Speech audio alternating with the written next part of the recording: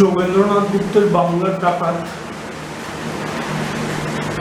এই বই থেকে দ্বিতীয় গল্প পড়ছি, ডাকাত বাবা। হুগলি জেলার ডুমুরদহ গ্রামের পাশে একটি খাল। প্রায় একশত বছর আগে খালটি যেমন ছিল প্রশস্ত, তেমনি উহাতে ছিল গভীর জল। এই খাল দিয়া সেখানে বড় বড় মহাজনী নৌকা ও বজরা চলাফেরা করিত।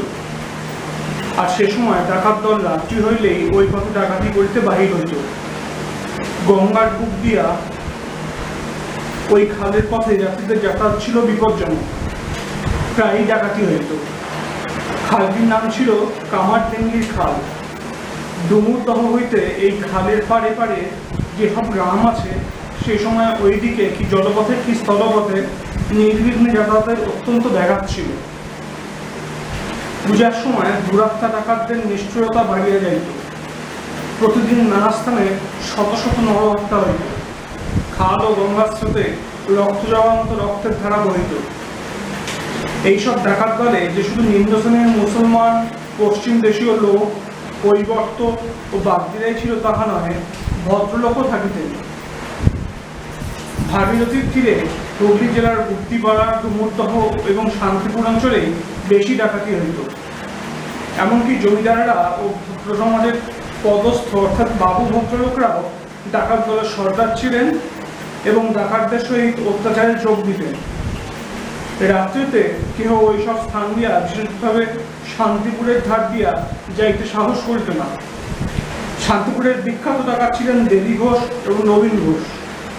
ইহারা ভদ্র সন্তান, ধনী, কিন্তু দুই ভাই ছিলেন বিখ্যাত দস্যু।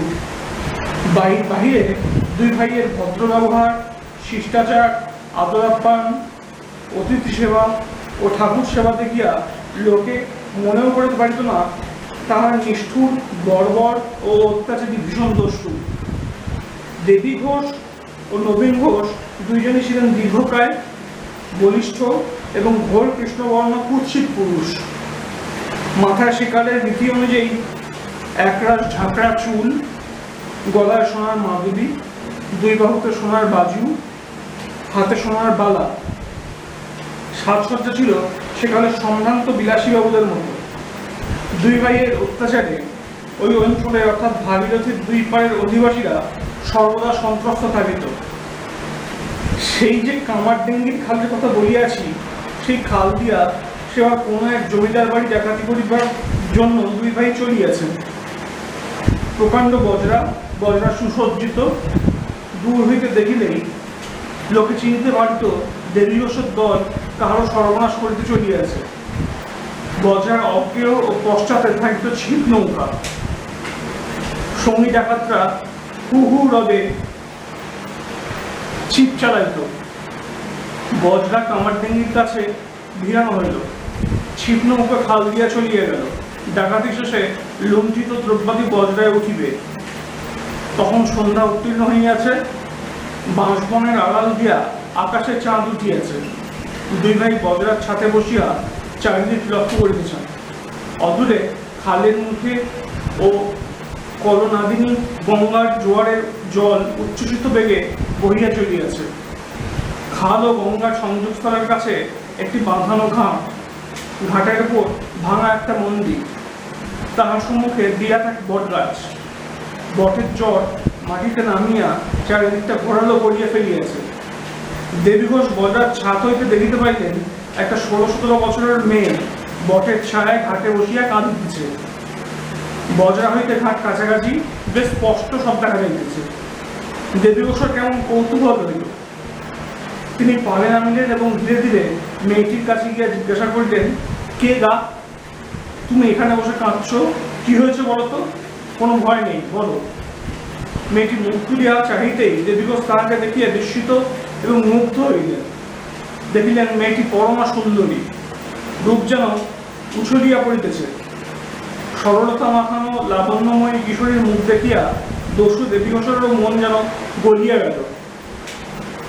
স্বাভাবিক কর্কশ্বর একটু মোলায়ম করিয়া বললেন, তোমার কি কোনো বিপদ হয়েছে? বলো, কোনো ভয় নেই, বলো। কিশোরী সহসা দেবী ঘোষের পায়ের তলায় লুটাইয়া পড়িয়া বলিল, বাবা, আমাকে আপনি রক্ষা করুন, আমাকে বাঁচান। কথা বলতে বলিতে সে কাঁদিতে লাগিল। দেবীঘোষ বললেন, তোমার কোনো ভয় নেই। এসো, এই যে আমার বজরায় চলো। আমি শুনব তোমার সব কথা। চলো আমার সঙ্গে কেঁদো না। কিশোরী সচকিতভাবে ভয় ও বিস্ময়ে দেবী ঘোষের সঙ্গে সঙ্গে বজরায় আসিল। দেবীবাবু বলিলেন, এবার তুমি বলো তোমার বিপদের কথা? দুই। মেয়েটির নাম সুলোচনা সুলোচনা বলিতে লাগিল, লাগিলেন, বাবা, পাশের গায়ে আমার মামার বাড়ি। আমি মেয়ের মেয়ে, আমার বাবাও নেই, মাও নেই। মামি আমাকে মানুষ করেছেন। মামা আমাকে আশি বছরের এক বুড়ো কুড়িনের সঙ্গে বিয়ে দিতে চান এবং আজই বিয়ে দেবেন, স্থির করেছেন। তাই আমি পালিয়ে এসেছি। এতক্ষণে বোধ হয় আমাকে খোঁজার জন্য চারিদিকে লোক বেরিয়েছে। নবীন দেবী হুঙ্কার দিয়ে উঠিলেন, বটে। হুম, তারপর বলো। সুলোচনা বলতে লাগলেন, সেই বামনের চারটি দিয়ে। আমাকে কুদিনের হাতে দিয়ে দিয়ে না দিলে জাত যাবে এজন্য মামা তাকে পালকি করে নিয়ে এসেছেন। আমার মার যা কিছু গয়নাগাটি, টাকা করেছিল সব বেচে বুড়োর হাতে অনেক টাকা গুনে দিয়েছেন। সে প্রায় দু তিন হাজার টাকা হবে। এই বুড়োর সঙ্গে বিয়ে হওয়ার চেয়ে আমার মরাই ভালো। তাই গঙ্গার জলে ডুবে মরতে এসেছিলাম। হুম, বলিয়া আবার দুই ভাই হুঙ্কার দিলেন। তারপর মেয়েটু মেয়েটি একটু সলাজ হাসিয়া বলিল, বাবা দেবী বললেন, বলো, বাপের কাছে মেয়ের কি লজ্জা করা উচিত? বলো, সব বলো। তখন মেয়েটি বলতে লাগল মামার বাড়ি হয়তো দুক্রোশ দূরে বলরাম মুখুজ্জের বাড়ি। মুখুজ্জ মহাশয়ের ছোট ছেলে কলকাতা কলেজে পড়ে। সে মামার দূর সম্পর্কে ভাই হয় কুড়ি বাইশ বছর বয়স হবে প্রায়ই আমাদের এখানে আসে। সে আমাকে বিয়ে করতে চেয়েছিল। তার বাবা ও আমার মামা এই কথা জানতে পেরে আমার বিয়ে তাড়াতাড়ি দেওয়ার জন্য এই বুড়ো বামুনকে নিয়ে এসেছে। দেবীঘোষ কহিলেন "আহ, বলো তোমার ছেলেটি কোথায় কোন গ্রামে আছে জানো সে গ্রাম? সুলোচনা বলিল হ্যাঁ বাবা জানি। ওই খালের পাড়েই দুপ্রোজ দূর হবে। গ্রামের নাম চৌগাছা সে ছেলে তোমার বিয়ে করতে কোনো অনক করবে না তো? বলিল, না বাবা। সহর্ষ বললেন, উত্তম। নবীন বাঁশি নবীন বাজাইলেন। বাঁশি বাজাইবা মাত্র একখানি ছিপ নৌকা তাড়াতাড়ি বজ্রের গায়ে আসিয়া লাগিল। ছিপ হইতে একটি বলিষ্ঠ যুবক বজ্রাতে উঠিয়া করজরে দাঁড়াইল। বলিল, কি আপনার? দেবীঘোষ কহিলেন, দেখো বজ্রনাথ, তুমি চৌগাছা গায়ে যাবে। সেই গায়ে খালের পাড়ে বলরাম মুখুজ্জের বাড়ি। তারই ছোট ছেলে কৃষ্ণচন্দ্রকে এখনই ধরে নিয়ে আসবে। পারবে? পারব। কেন পারব না কর্তা কোনো অত্যাচার করবে না। না কর্তা দেবীঘোষ সুলোচনার দিকে চাহিয়া বললেন, মা, তুমি লেখাপড়া জানো? লিখতে পারবে চিঠি? হ্যাঁ বাবা। তবে কৃষ্ণচন্দ্রকে তোমার সব কথা জানিয়ে চিঠি লেখো সে যেন এখনই আমার লোকের সঙ্গে চলে আসে কোনো ভয় আচ্ছা তার বাবা এখন কোথায় বলতে পারো? তিনি আমার মামার বাড়ি এসছেন। ঘটকালিপুরে বুড়োর সঙ্গে বিয়ে ঠিক করেছেন কিনা? বেশ, পত্র লেখো। সুলোচনা পত্র লিখিয়া সব কথা কৃষ্ণচন্দ্রকে জানাইয়া দিল। এইবার দেবীঘোষ কর্কশ কণ্ঠে কহিলেন, দেখো মা, পুরুষেরা অনেক সময় মিথ্যা কথা বলে মেয়েদের ভুলা দেখো, শেষটায় যদি ও গড়রাজি হয়, সঙ্গে সঙ্গে মেয়েটার প্রতি এক সুতীক্ষ্ণ কটাক্ষ করিলেন। সুলোচনা নির্ভীকভাবে কহিল, বাবা, আপনার মেয়ে মিথ্যে কথা জানেন না। উনি সত্যবাদী। পিছপা হবেন না। কর্কশ কণ্ঠ করিলেন যদি না আসে, তবে তাকে জোর করে ধরে আনব। সুলোচনা মৃদু হাসিয়া কহিতে তাই আনবেন? ব্রজনাথ তবে তুমি আর দেরি করো না। যাও, সাবধানে কাজ করে আসবে। যদি আসতে না চায়, বাধা দেয়, কোনো মিথ্যা অজুহাত দেখায়, তবে তাকে জোর করে ধরে আনবে এই কথা বলিবার পর দুই ভাই দেবী ঘোষ এবং নবীন ঘোষ হা হা করিয়া হাসিয়া উঠিলেন।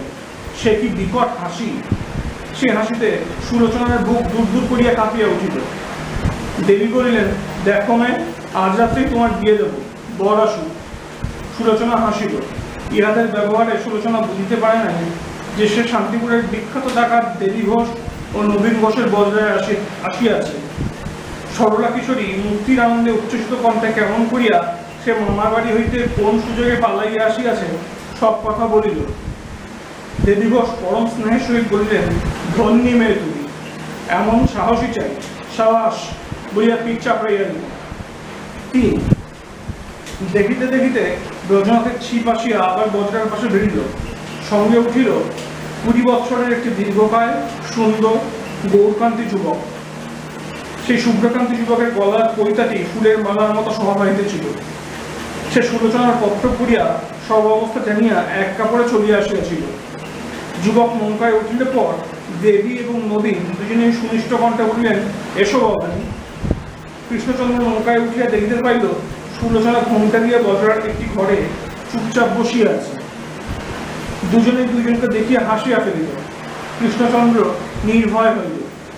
দেবী বসু হুকুম দিলেন গজরা শান্তিপুরের দিকে চালাও।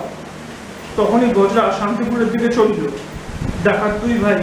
এবার দুইজনের কাছ হইতে সব কথা শুনিয়া লইলেন এবং জিজ্ঞাসা করিলেন আচ্ছা মা, আজ রাত্রিতে কোন সময় তোমার বিয়ের লগ্ন ছিল? আগে শেষ রাত্রিতে। উত্তম। ব্রজনাথ কি কর্তা?